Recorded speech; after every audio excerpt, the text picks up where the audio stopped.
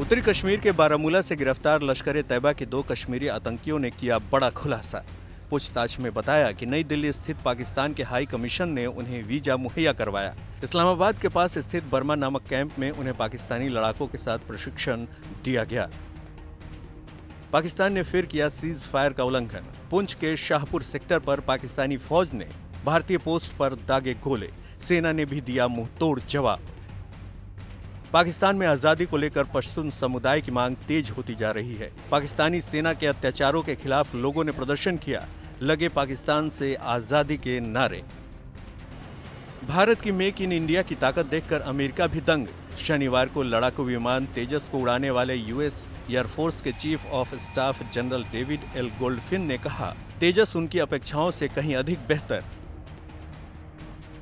भारत सरकार ने उस मीडिया रिपोर्ट को खारिज कर दिया है, जिसमें दावा किया गया है कि पाकिस्तानी जेल में बंद कुलभूषण जाधव भारतीय जासूस है।